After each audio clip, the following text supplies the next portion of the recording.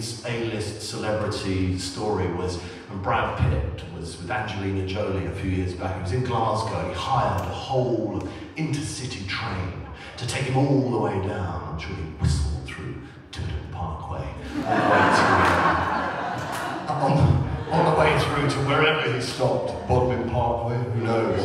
Exeter. No, not Exeter. I don't think it uh, it was Cornwall. Um, and, uh, and he did something which, uh, which people in Cornwall talk about to this day. Brad Pitt publicly ate Cornish pasty.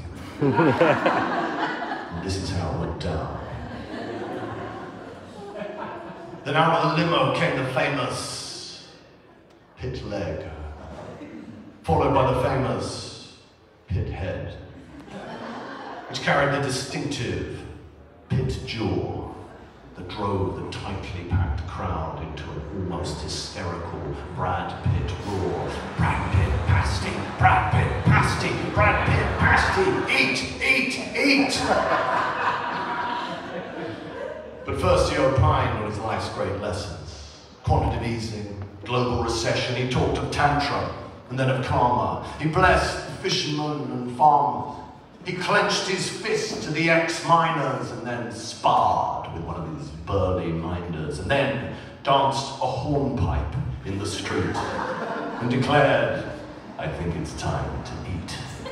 And the crowd hushed as he stepped forward and threw back his mane of long hair and then with a punch of the air, he roared like an ancient Greek warrior is thought to have roared before sinking his perfect pearl white teeth into the large golden brown steak pasty.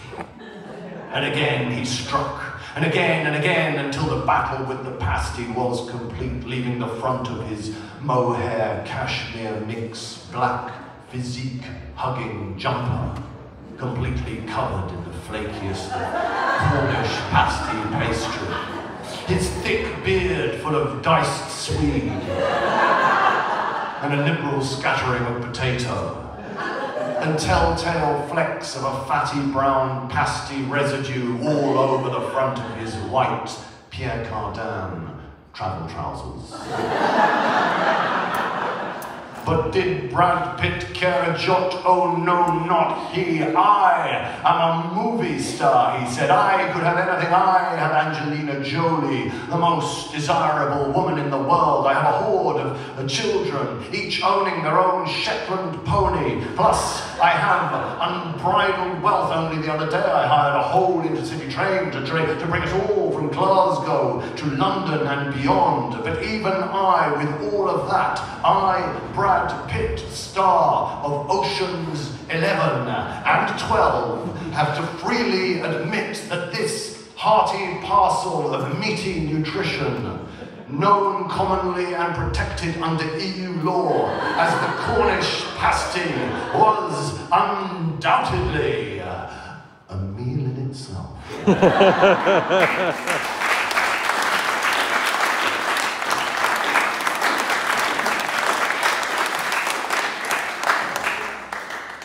Well, thank you very much. Now, um, I think with, um, I think there's, there's one thing that we, we don't like with celebrities is when they start moaning about things. It's so tiresome. You know, we say, look, you've got all this stuff, you wanted to do it, you, everybody's looking at you, and now you're moaning about the whole thing. We don't like moaning celebrities, but we have very little sympathy for them. But the, the, the, the area of celebrity that I think where, where I have boundless sympathy is for celebrity animals. Because they've got no egos, have they? Know, they're not, they're not, they didn't, they didn't, they didn't go up the greasy pole, they didn't sleep their way to the top, did they?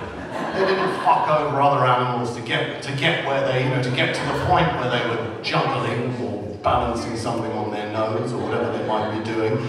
They didn't do any of that, you know. So when something goes wrong for a, uh, a celebrity animal, I've got, I've got loads of time for them. So this is probably my favourite celebrity story of all, and it's, um, it's a, and it comes from a, um, a newspaper headline in Scotland, in Lanarkshire, and the headline said, "Dog drives tractor." dog drives tractor. The dog's name is Don. And Don is a border collie. And apparently Don, he got hold of the tractor, drove off, smashed through the fence onto the M74, drove up the carriageway before losing control of the vehicle. And uh, he was picked up by the farmer that he lived with, who took him home, and that was that. And of course, but if you look deeper into these things, there's always a, there's always another story at the bottom of it. Of course, anyone here who knows uh, about you know there are there are very very intelligent dog breeds. How many dog owners have we got here? Yeah. See, so so we know. So name a name um, a an intelligent dog breed. Border collie. Poodle. Shih Tzu, yeah, Shih Tzu, Border Collie, Poodle. Um, and Don indeed was a Border Collie.